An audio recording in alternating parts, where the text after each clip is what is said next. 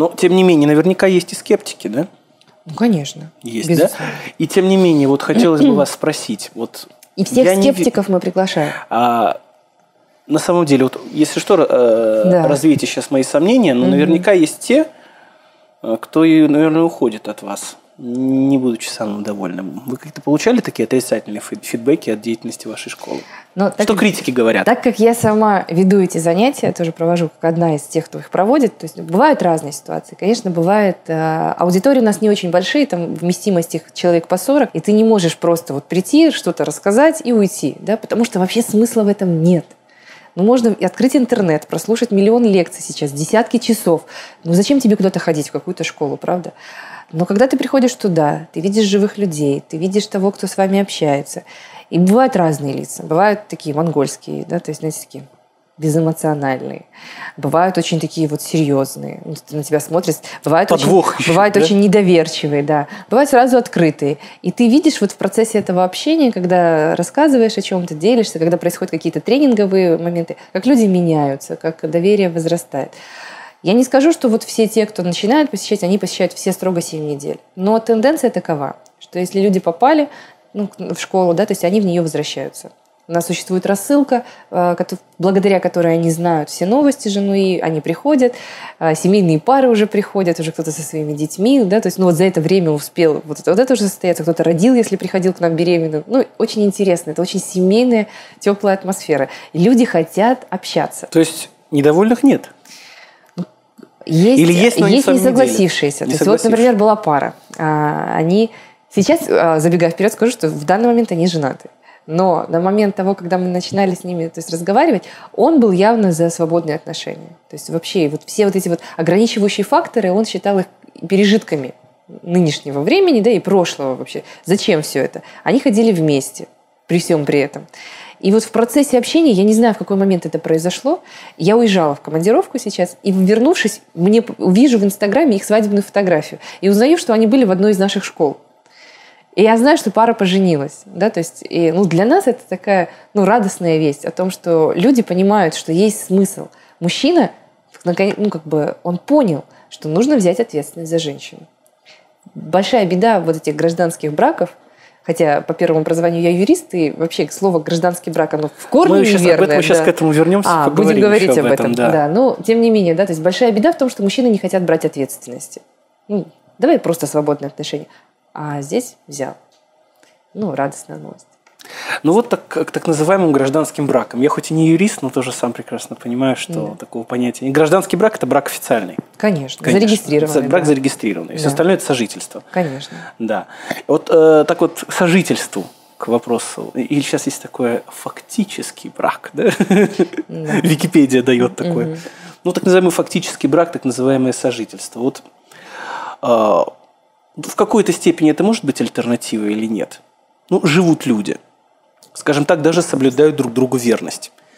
Но вот я знаю, что сейчас просто у определенного, у определенного слоя людей, прослойки людей, просто вот какая-то вот патологическая неприязнь вот ко всем этим официальным мероприятиям. Угу. Да, они могут быть неверующими, нерелигиозными, ладно, в церкви они не будут венчаться, там, в мечети, но не любят они ЗАГСы, вот не любят они вот все этой вот э, мишуры вот этой вот показной. Вот может быть действительно так – да, соблюдаем все как бы нравственные традиции, но не регистрируемся. Но здесь такой момент очень а, тонкий, а, в том плане, что если люди, знаете, а, современная молодежь, это люди очень пытливые. Это те люди, которые не будут верить. Знаете, сейчас детей ставят в угол. Ему говорят, иди встань в угол. Он говорит, зачем?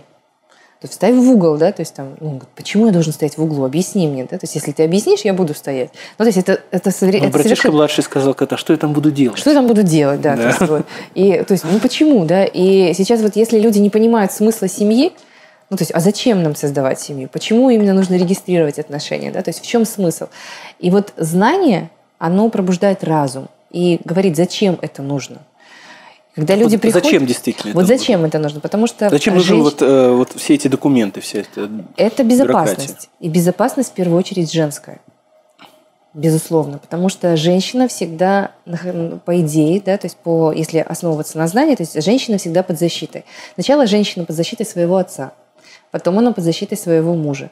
Далее она выходит ну, как бы уже в престарелом возрасте, да, в мудром возрасте, она под защитой своего сына – когда муж тоже слабеет. Или зятя. Вот, да, но сын в любом случае, там, муж, муж дочери. И для женщины это крайне важно, потому что женщина, как только она начинает служить мужчине, ну, то есть готовить, э, убирать, стирать, ухаживать за ним, даже если они при этом не, не женаты, то есть она уже считает, что это ее мужчина.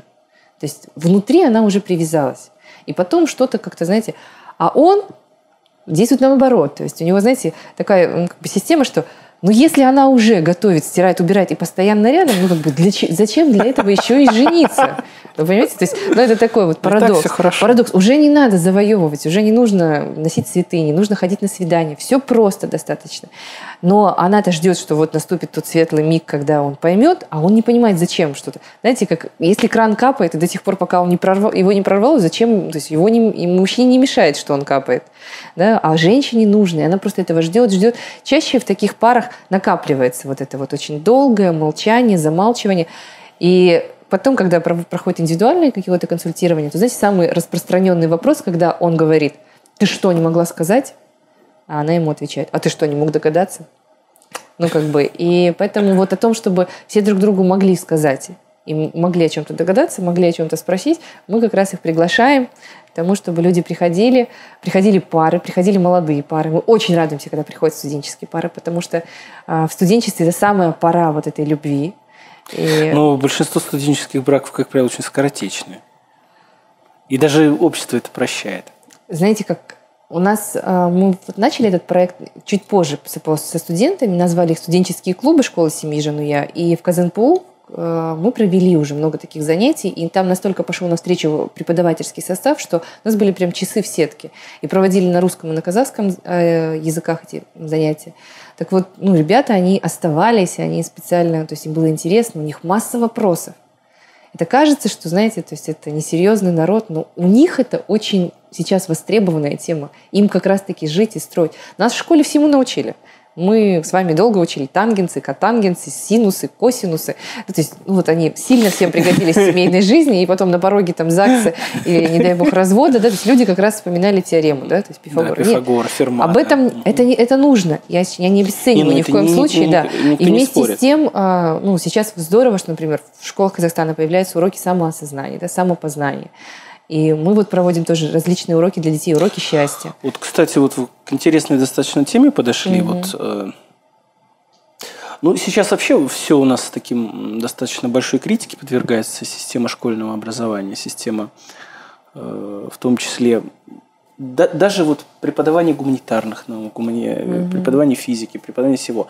Но где гарантия, что вот эти вот уроки самопознания ведут правильные люди?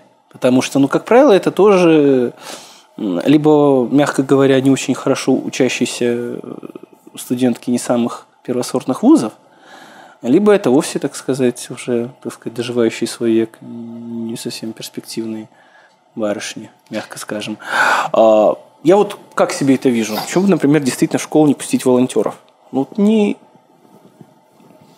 но ну, не решиться на такой шаг. Свобода – это некая осознанная необходимость. Да? То есть, когда ты уже понимаешь вообще, к чему и как, тогда можно что-то строить по новой.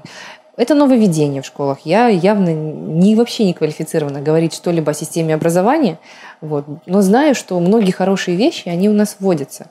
То есть, например, тот же самый Шалва Александрович Аманашвили, да, который приезжает и проводит здесь тренинги для наших преподавателей. Да, то есть были проведены педагогические чтения. У нас открылся Казахстанский центр гуманной педагогики. Вот. Есть изменения, а, есть тенденция к развитию. И она, она очевидна, потому что сейчас э, существуют родительские клубы, да, тоже образовательные. Никого, ни, никто никого не учил. Не учили быть родителями, не учили быть женами, не учили быть мужьями, не учили быть детьми. Да? Время меняется, технологии растут, а отношения